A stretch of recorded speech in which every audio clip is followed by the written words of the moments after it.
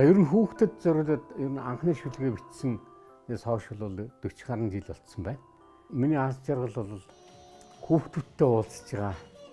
Хүүхдүүдээс өөрийнхөө уран бүтээлийг сонсож байгаа тэр л үе бол аз жаргалтай байдаг.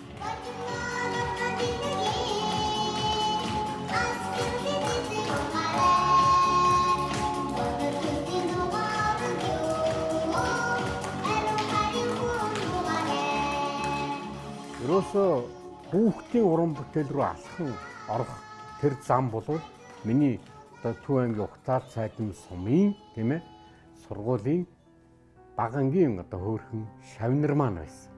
Тэдний зүрх сэтгэл намайг энэ хүүхдийн уран зохиол руу хөтлөөд оруулсан ийм л учиртай.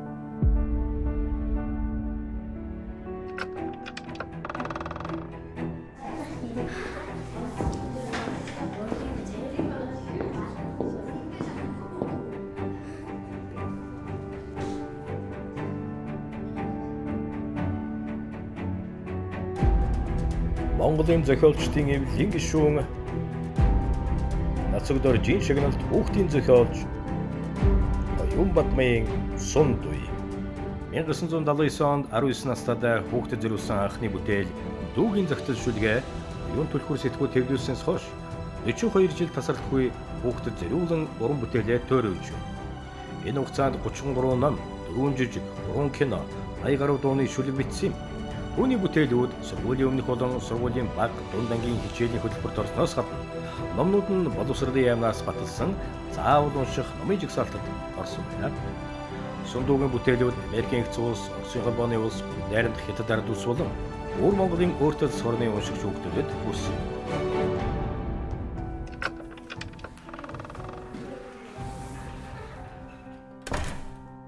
Үүрний сан ниссэн шувуу дайлжиг үүрэн гүйцхээр буцаад ирдэг шиг. Би багш болоод төр сумнуудаг. Төрлөх сургуультан ингэж ирсэн. Анхны шав нартайгаан танилцах мөч сэтгэл догтлон байлаа. Тэдний бяцхан зүрх мөрөөдлөөр дүүрэн байгаа даа гэж бодохоор өөрийн ирэхгүй хайр хүрдэг юм билээ.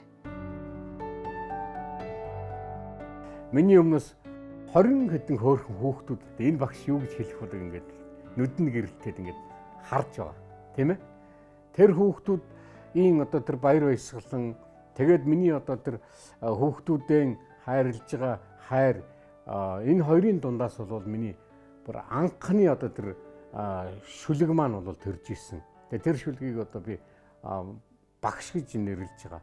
Тэгээ тэр шүлэг нь бол юу гэж эхэлдэг вэхээр буурал хорвоогийн уян ухааны буданг хөөн цэлмэх учиртай. Бусдын төлөө зохилж явдаг бунан зүрхний ээж байх. Би хүн ардын итгэл бид хүмүүн төрлөختний сэтгэл. Хосгүй ариухан хамгийн эмзэгхэн 20 хэдэн зүрх өмнө минь догдолж байна Очин бор гараар нь аагийн нацаг татуулахтаа бодол оюунд нь би хайрлахын ухаан шингээж байна. Ай миний алдрайхан шавнар алган дээрээс минь нисэх аз жаргалын шууд.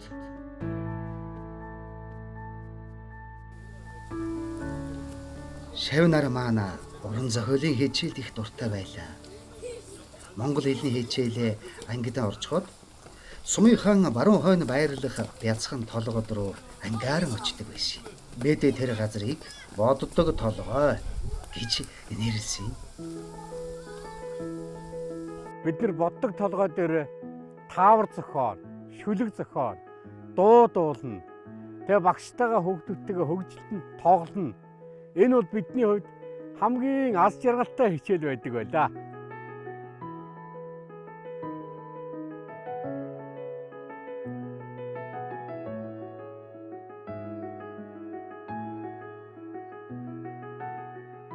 Эргэн тойрноо тэгж гоё аз жаргалтайгаар ингэж э, мэдэрч байгаа нь үг өгүүлбэр зохиоход хүртэл ингээд нөлөөлдөг. Одоо миний хүүхдүүдийн зохиосон өгүүлбэр хүртэл зүгээр нэг намар боллоо гэхгүй шүү дээ.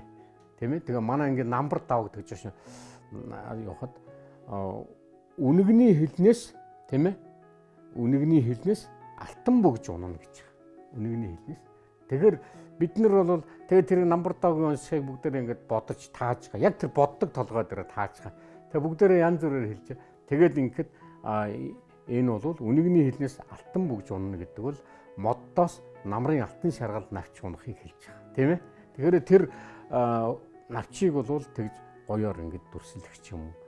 Ийм одоо дүрслэлүүд нь хүүхдүүдэд надад ч гэсэн их гоё байдаг байлаа. Багшийн их сургуульд сурч бага ангийн багш мэрэгжил эзэмшихийн өмнө би ямар хүн болж ирээдүйд ер нь яаж амьдрах уу гэдгийг сонгох боллоо. 7 дугаар ангид байхад сургууль дээр ирж уулзалт хийж байсан өвгөний баасан жавган шүлэг яруу нарыгаан уншиж байгаа дүр төрх байн байн бодогдож. Гэхдээ тэр хүн шиг зохиолч болох юмсан гэсэн хүсэл сэтгэлийн минь мухард байсан юм. За тэгээд болоогүй. Ангийн нөхдөөч дагдгийн бэлүү. Гэхдээ ер нь хаанаас сурвал зохиолч болдгийн болдоо гэж эргэлзэж тэнэгэлзэж байхад багш минь харин зүг чигийг гаргаж өгч аав минь зөв чиглүүлсэнтэй.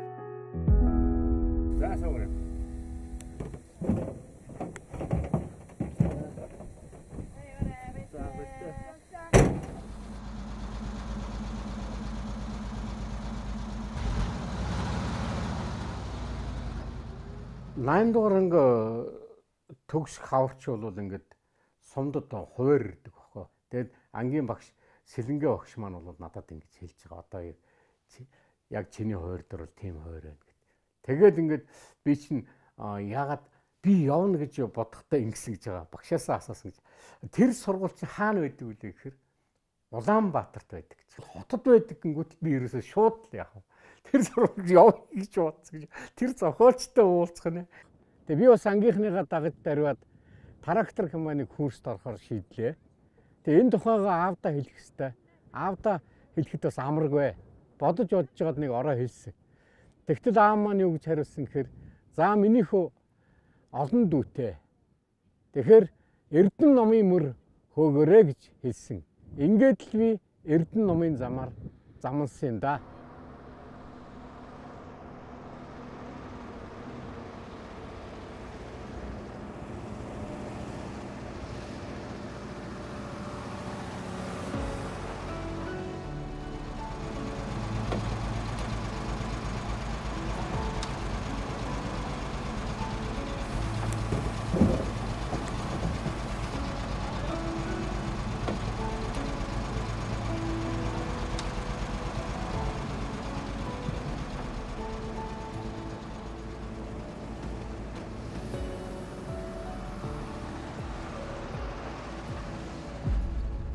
Багшийн сургууль бол миний амьдралын их сургууль.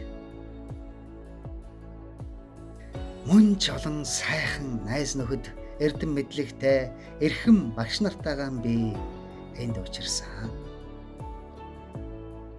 Багшийн сургуульд ирээд нөгөө хүүхдийн уран зохиолын хичээл орно. А тэнд одоо уран зохиолын дугуйлан гэж одоо манай пүрүсрэн багшийн дугуйлан хичээл нь шүлэг зохиол, уран зохиолд шимтэх тэр хүслийг бол улам дэврэж өгсөн багшийн сургууль. Шүлэг маань одоо тоншил сонин дээр хүүхдийн яриа гэж гарлаа.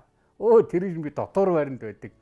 Тийг харахаар л багшийн сургуулийг одоо тийм ээ 2-ын 4-р ангийн сурагч одоо оос сундыг ингэ дорн бичсэн баг. Гэт энэ үнэн байгаа таа гэж бодлоод баргад ирсэн. Оо сургуулаар нэг одоо таньдаг мэддэг нөгөө энэ сундыг чинь 2-ын 4-ийн сундыг чинь шүлэг өчтдөг сонин мэн дээр гарсан аажаар шүлгэн өссөн юм нэлээ тодорцсон нөхрөөж. Хүүхдүүдээ би та нарт үлгэр өгүүллийн номоо өргөн барьлаа. Мэгт мэхэндээ анхны номыг минь уншаад загтал бичээрэй. Анд найз нар минь. Миний зохиолын баатар болсон гэнэн зайлган зовоо сэргэлэн хүүхэд та нартайгаа насан турш та найзлан шүү. Одоо ингээд бодоход анхны номондоо бичсэн энэ учиртай үгс уран бүтээлийн урт замд намайг хөдөлжээ. Уншигч хүүхдүүдтэйгэн би ёстой л насан туршдаа найзалж явна. За мэгт мэхэндээ гэдэг миний одоо анхны ном маань бол хүүхдийн яриа буюу тийм бодит одоо зүйлээсээ сэдвүүлж ичснээрээ энэ ном бол их онцлог болсон гэж ингэж бодож байна. Багшийн сургуулийн оюутнуудын шүлэг зохиолыг тавьдаг юм ханын сонин гэж байдаг. Тэгээ манай профессор багш интервью дээр бас тухайн үедээ бас нэг жоохон шалгарсан шүлгийг тавиад ингээд солиод байдаг гэсэн шиг миний ээжтэй шүлгийг ингээд тавьцсан. Тэгээд тэр ээж нэгээд оюутнууд уншаад хажуугаар нь юм хүм бичсэн ч шиг тэрийг ингээд хараад их додгор явна штэ. Их хотын дүрх цасунахад ижим бодогдсон. Ирж үе засан ширхэг өхөн илгээж надад битсэн загтал мэт санагдана. Манан цэнхэр уусаа нөмөрдөн мал сүргийнхээ дэргэд ижим яваа. Гарын нутган дулаацуулж өг галын хүн хотод суугаа. Уус нэвт хүүгэн харж Ингэрэн давчил гэж хэлмээр байгаа уулгалтал цайн дэврэхэд хүүн нэрхэн гэж бэлэгшээж байгаа. Тэгээд намрын одоо тэр нэг хөглөгдөөл тэр шүлгээ ирчихээ. Тэгээд найзуудаа уншиж өгөөл. А тэгсэн чинь сүүлдээ манайхан чинь цээжлээд тэгээд ээжтэй зориулсан нөө захаандаа өчиж ингээд бичиж явуулаад. Оо тэгээ манай ангийнхан чинь одоо али чи урд гарч гад бид нар бичье гэх Тэгээд би дахин дахин уншаад а тэн дээр зогсчлоо. Тэгээд бүгдээрээ бичиж ангуудаа сүлд нь ээжүүд рүү явуулаад байгаа. Тий. Тэгээд ээж. Тэгээд ээж. Тийш үү. Өгжилт. Ээжигээс тэр чинь ингэж явах манан цэнхэр уусаа нөмөрдөн мал сүргийнхээ дэргэд ижим яваа гэхэд манай их октод чиг уулаад ээжигээ санч өөр хөгжилтэй байдаг гэж үлээ. Тэ.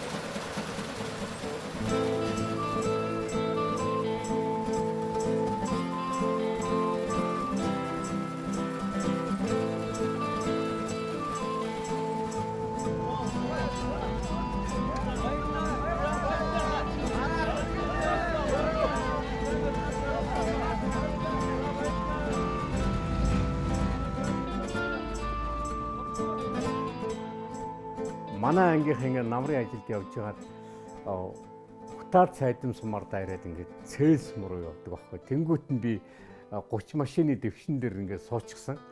Явна штэ. Тэнгүүт нь за манай ангийнхаа манай сумн дээр ирлээ шүү. За би буучи гэж байгаа. Яагаад бууч вэ? Тэгэхээр би та нартай боб борцог ахиухан авч чигээ. Тгий гэд нөгөөдөл нь тэгээд Тэгээд би юусе багшаасаа чөлөө авахгүй найзуудаасаа чөлөө аваад машинаасаа буучиж байгаа байхгүй.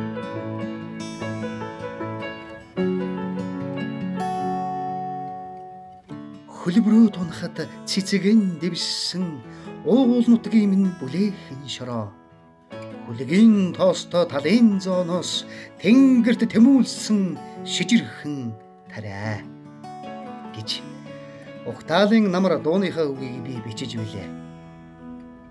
Ийм л сайхан нутгийнхаа барааг харж хаад уухгүй өнгөрч яаж болох вэ?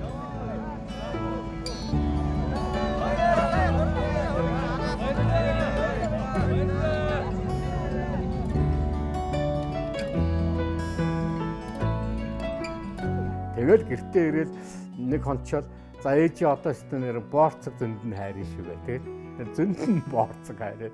Тэгэл хэнэгчгүй тэгээд нэг хончоо нөгөө юута бооцгоо үрээд цээл сум дээр яваад өчөж байгаа байхгүй юу.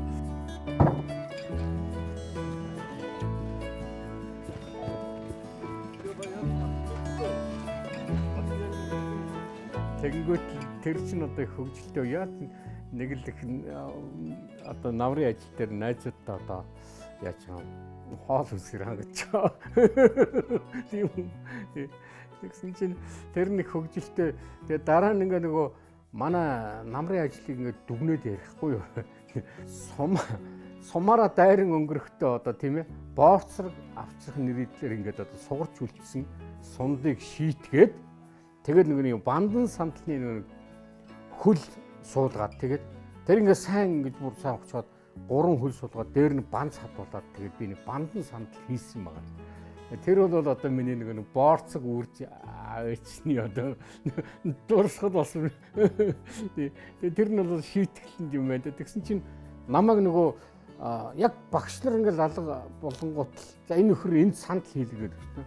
Багш нар алга болонгууд манай ангийн хөвгүүдтэй газ ирээд байсан нөрөө навтаамд зэрэгцээд нөгөө хэрчмүүдийг чинь ингээ газар ухаа суулгаад тэгээд бан цадчихж байгаа чинь. Нэгээс том сарын адал явдал шиг юм болж байгаа шүү дээ. Тэгээд тэгээ манай ангийнх нийлээ суулгачихсан. Гэрээсэн хол амьдарч байгаа дотор байрны борог амьдралтай оюутнуудад бороотой, зэрүүхэн а эсвэл салхитай жиндүүхэн өдрүүдийг дулаацуулдаг зүйл бол гэрээс ирэх элегэмж байсан юм. Тээврийн давчан дээр очиод ижи аавыг минь санагдуулан нутгийн сайхан борлуудтайгаа мэнд мэдэж үнэрл хүлчгээд шууданга хүлээгээл зогсон доо. Богц дүүрэн ааруул ээзги боо борцог борцо 20 төгрөг бас загтал явуулжээ аав ээж минь. Тэр э, ээжийнхэн одоо тэр загтал одоо бэлгийг ингээд авсан хүн чинь эзийгэн бодно үү те. Тэгэхээр шүлэг төрж байгаа. Одоо миний хайрын хорвоо шүлэг чинь төрж байгаа байхгүй юу. Тэгэхэд ингээд э, үүрээр торгох цэцгийн шүүдэр хярууттан мөнгөрөх ойхон хорвоо үүлэн нүдэл сэтгэл зиндээ ижидэн очмор намрын өглөө навчин дээрээ тэ мөнгөн хэрвэтэй уярн дулмаар тансаг хорвоо алган дээрээ мөнгөний устай ганцхан заяах буурлажээ. Тэгэхээр уран бүтээлчийн одоо тэр урын сан гэдэг бол дандаа ямар нэгэн сэтэл ямар нэгэн хайр энергийн түүхтэй ингэж холбогдож ингэж гоё төрдөг байгаа байхгүй тий. Миний үеийнхний хувьд бол их сонирхолтой уран бүтээлчийн түүх бол их сонирхолтой. Одоо хуучнаар бол социализмын үеийн одоо одоо үр үндэс тэр үед залуу наснд цэцгэлж байсан улсууд тийм ээ эд тойрон бүтээх насан дээр 90 оны босгоор даваад одоо энэ шилжилтийн буюу одоо энэ ардчилсан гих нийгэм рүү ингээ яваад орчиж байгаа. 1990 онд Монгол улс ардчилсан нийгэм рүү шилжихэд тухайн цаг үеийг даван туулах сорилт хүн бүхний өмнө тулгарч байлаа. Амьдралынхаа төлөө 8 арилжаа хийхээс өөр сонголтгүй болж бүх зүйл өөрчлөгдсөн юм. Номын мөр хөөж, уран бүтээл төөрөвч, номоо хэвлүүлнэ гэдэг итгэл бараг өгөө болсон дөө.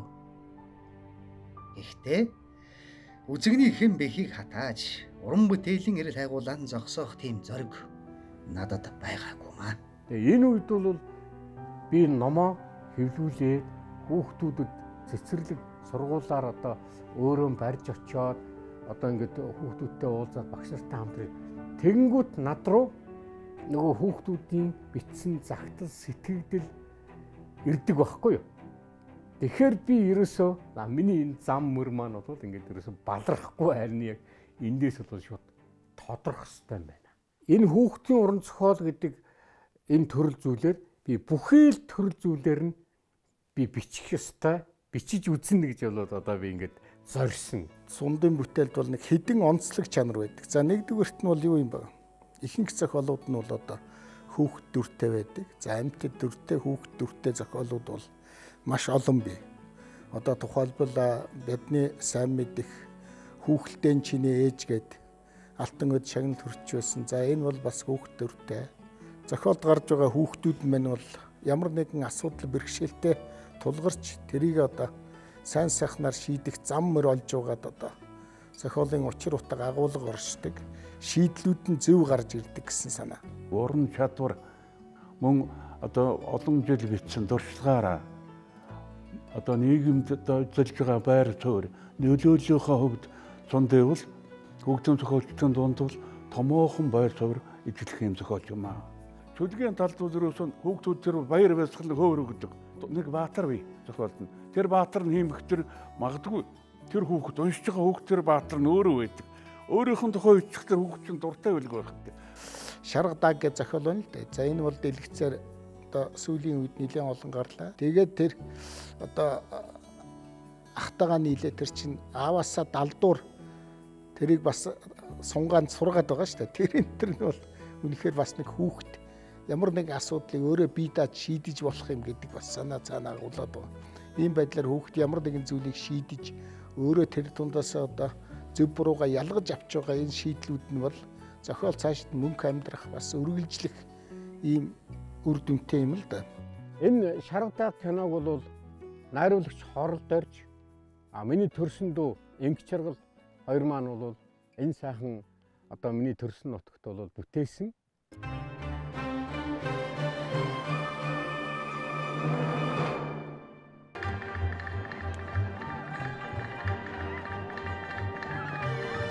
хурдан мөрөндөө унчиг унчиг. Энэ кино бол бас баг насны адуу хүүхэд хоёр их болдож гарч байна. Тэгээ энэ хүүгийн тэр ухааныг тэр төмөр гээд ахих нь ухааныг бол энэ морио хайрлах.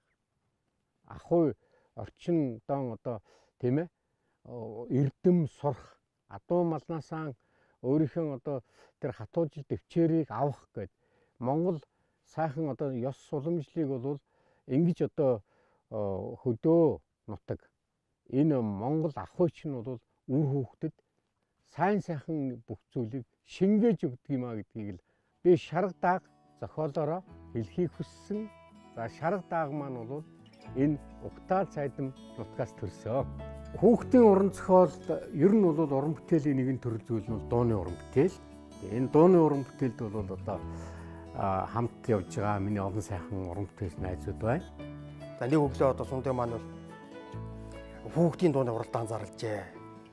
Тэгээ би ийм дуу шүлэг бичлээгээд одоо аз жаргалын цэцэг дууны шүлгийг надад одоо өглөө ажилдаа ирэхдээ үзүүлсэн. Аа тэгээд би тэр одоо тэр дууганд би аялгаа хийж тэр уралдаанд орж тэр барин тэр хүүхдийн уралдаанд төрүүлж ийсэн. Надад тахилтнаас гэж аялгаа норсол доо одоо божин бор алгаан дэлгий аз жаргалын цэцэг ургаараа бодлого хүслийн дуугаар гээ ариун хайрын хуруугаар гэсэн. Тэг энэ мөрнөөс нь одоо аялал бол орж ирсэн. Өнөөдөр хүртэл дуулагч нь 20 гаруй жил. Тэг ялгаа авахгүй одоо тэр анхааны зас ч гэсэн. Би сундаг ерөн тэгж боддог. Шүлгийн нэгэд үзэхээр их хүүхдийн сэтгүүтэй мөртлөө цаанаа их уран гоё бичигддэг. Тэг тэр нь бас аялгаа их дөхөнтэй байдаг юм гэж боддог. Хамгийн гол нь хүүхдийн зохиолчдын дотор уулздаг дотор бас нэг өвчтөн хүн гэж байна. Тэр хүний нэгэнд явуулсан дээр найз гэж боддог. Зөвхөн хотон сайхан дуу би зүгээр. Тэрнээс нөгөө нэгэн жишээ авъя л да. Аавда би дуудуулж өгсөн. Аавда би хайртай гэж дуусангууд бүгд хүүхдүүд зүрэлтээр ингэ дуулаад энийгээ баярлаа. Ингээд хэлдэг байхгүй. Сондогийн шүлгүүд хүүхдийн аяг хийхэд ихшгэлэнт хийнэлтэй өгдөг. Ихшгэлэнт үг гэж бас байна. Тийм Шаарл нэгдүгээр бодоход орсон 3 3 үедээ дараа нь 4 үедээ өгөх байж бодъё. Тэгээд 20 дугаар бодлого руугаад яг л адилхан 3 3 үедээ таслахад тэгээд 4 үедтэйгээ байдаг жишээ нь. Тэр нутгийн гайдан хийхэд яг тэр хэмнэлүүдийнх нь тэр хим хэмжээнүүд ингээ тохироод байдаг тийм нарийн нанд.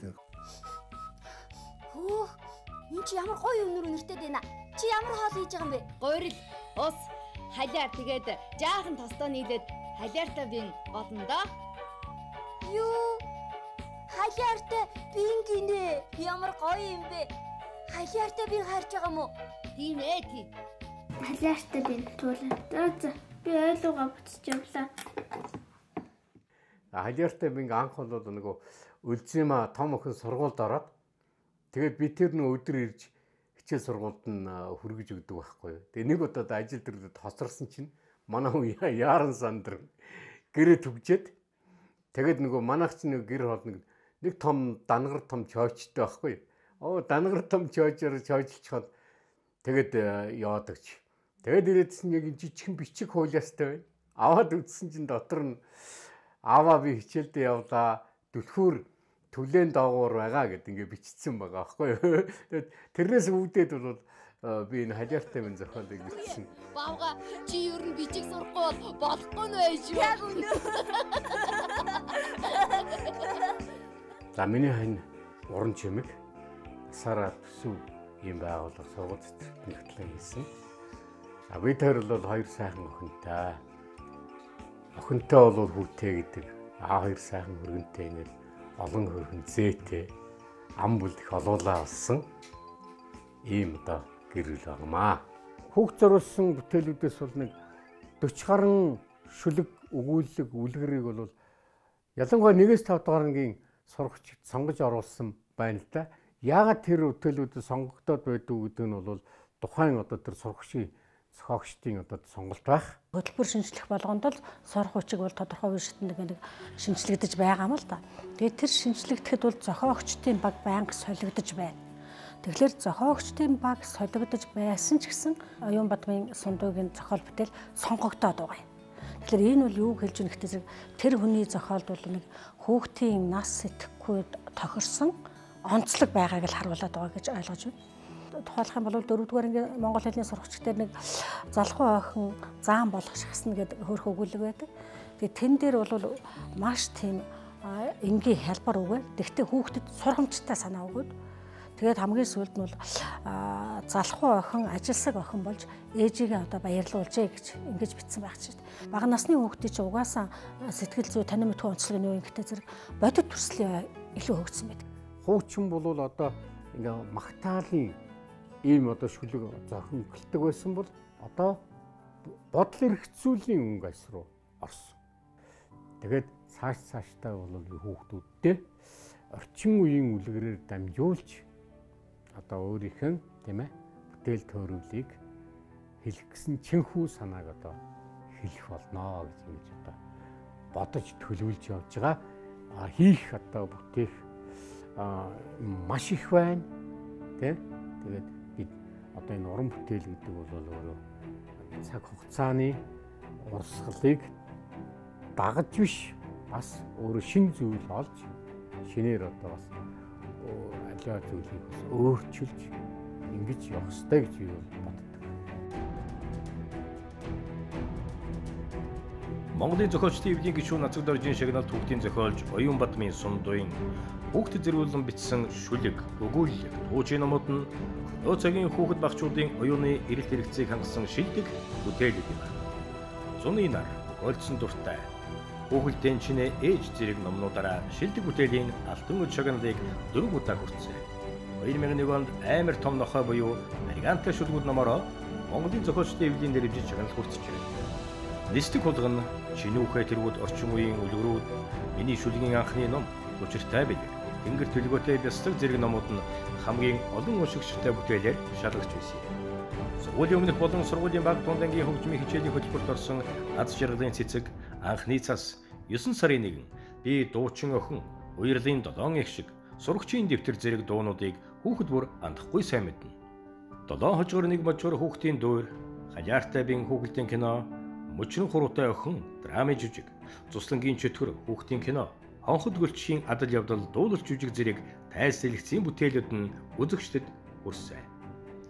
Бага насны амьдралаасаа сэлбэлэн бүтээсэн шаргадаа кинон манай орны үзэгчдийн таашаалд нийцсэн төдийгүй Солонгос улсын Тусан, Швейцар улсын Фрайбург зэрэг олон улсын кино наадмуудад урилгаар оролцож Дани, Япон, Орос, Англи улсуудад Монгол улсын кино урлагийн нэгэн тод төлөөлөл болж хэлийн чандын үзэгчдэд хүрсэн байдаг.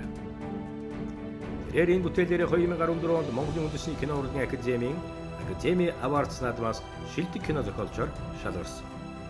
2005 оноос эхлэн дэлхийд тархан суугаа монголчуудын үр хүүхдүүд сундын шүлэг зохиолыг уншиж эхэлсэн бөгөөд одоо Тэнгэр төлгөөтэй бясаг ном нь монгол хүүхдүүдийн унших бичиг байна.